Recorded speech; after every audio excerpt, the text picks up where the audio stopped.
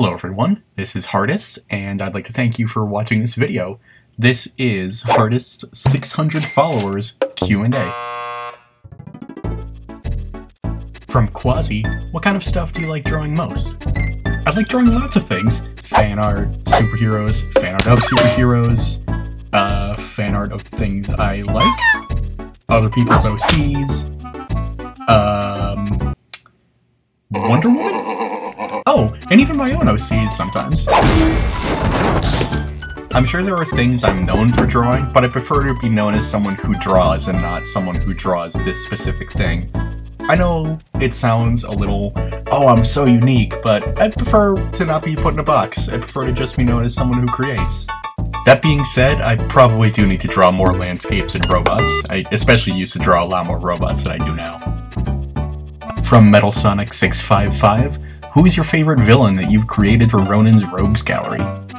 Of the four whose designs I've completed, Lightning Rider, Shift, Vulcan, and Contessa Scarlata, my favorite has to be, far and away, Lightning Rider. I think a big part of this is because at the time I was creating him, one of my professors was Bill Morrison, lead character designer of Futurama, creator of the comic Roswell Little Green Man, and many other things.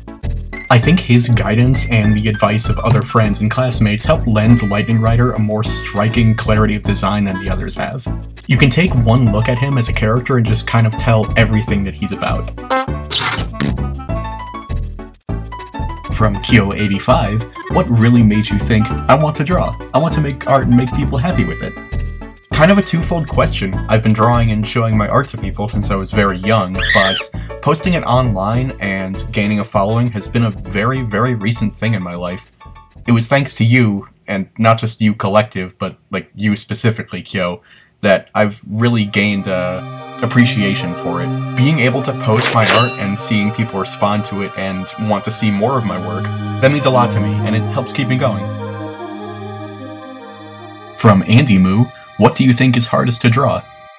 This answer varies from artist to artist, but for me personally, animals, backgrounds, and cars. There are plenty of things I find difficult to draw, but these three are the first that came to mind. As I draw these things more, I do find myself improving, but I still struggle with them.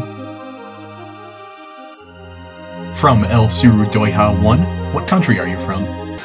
America.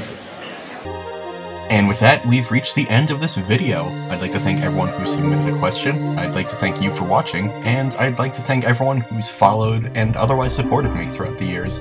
I really can't thank you enough, it means the world to me. I hope you enjoyed this video, I enjoyed making it, and hope to see you soon.